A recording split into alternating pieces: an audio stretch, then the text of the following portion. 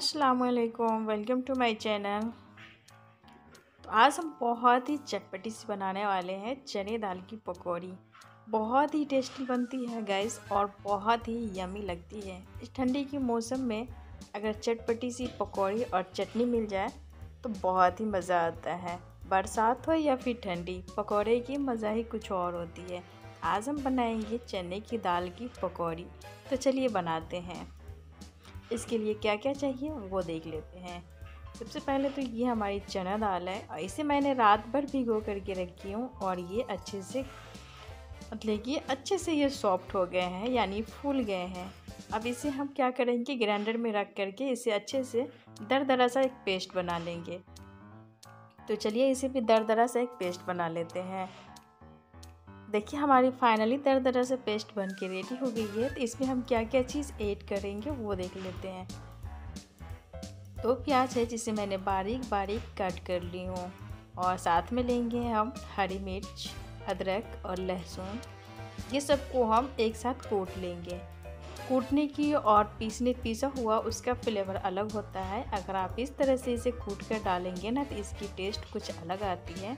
बहुत ही स्पाइसी और बहुत ही टेस्ट इसकी चेंज हो जाती है।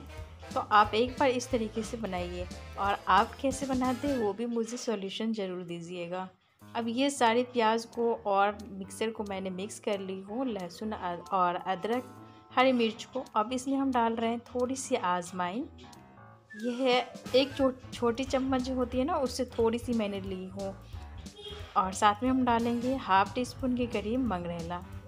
मंगरेला से इसकी फ्लेवर बहुत अच्छी आती है, इसलिए अब डाल रहे हैं हम एक छोटी चम्मच जीरा।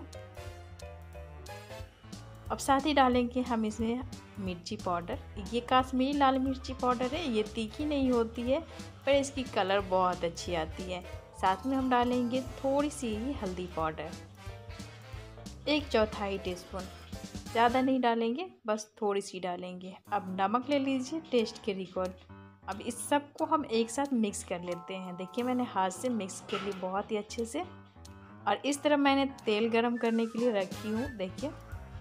और तेल हो गई है बहुत ही अच्छे से हीट ज़्यादा भी गर्म करके और उसके बाद आप इसे लो फ्लेम पे कर दें ताकि धीरे धीरे पकौड़ा अंदर तक पकेंगे। तो पहले तो ऑयल को अच्छे से गर्म कर ले, उसके बाद धीरे धीरे इसे ठंडा होने दें। लो टू मीडियम फ्लेम पर करके आप पकौड़ा ऐड करें ताकि अंदर तक अच्छे से गलेंगे अच्छे से सॉफ्ट बनेंगे। देखिए, सारे पकौड़े किस तरह से हम ऐड कर देंगे। और पकौड़े बहुत ही अच्छी लगती है बहुत ही टेस्टी बनती है। पकौड़े के नाम सुनते ही मुँह में पानी आ जाते हैं। पकौड़ा हो जाए और चाय तो बहुत ही मज़े की लगती है। अब गर्मा गर्म पकौड़ा और चाय मिल जाए तो क्या बात है।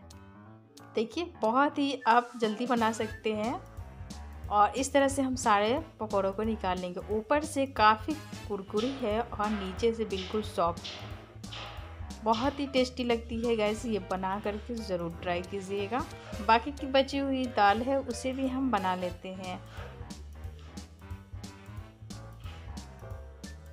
सारी पकौड़े को हम इसी तरह फ्राई कर लिए हैं। अब सारे पकौड़े हमारी हो गई ये रेडी तो चलिए हम दिखाते हैं आपको कितना सारा पकौड़ा हम बनाए हैं। और चने दाल की पकौड़ा ना बहुत ही टेस्टी बनती है गैस बहुत ही ज़्यादा। और आप इस तरीके से बनाएँगे ना तो और भी चटपटी सी लगती है। तो हमारी ऑलमोस्ट पूरी पकौड़ा और सब रेडी होकर की फाइनली रेडी है और सब खाने की वेट भी कर रहे हैं। तो देखिए, हमारी सारे पकौड़े बन के रेडी हो गई है। ऊपर से काफ़ी क्रिस्पी है और सॉफ्ट भी है, देख रहे हैं आप, बिल्कुल बिल्कुल सॉफ्ट हैं अंदर से। आपको हम तोड़ करके दिखाते हैं। बहुत ही अच्छी सी बनी है, देखिए। चूसी है एकदम, बिल्कुल। और अंदर से देखिए कितनी खाली है।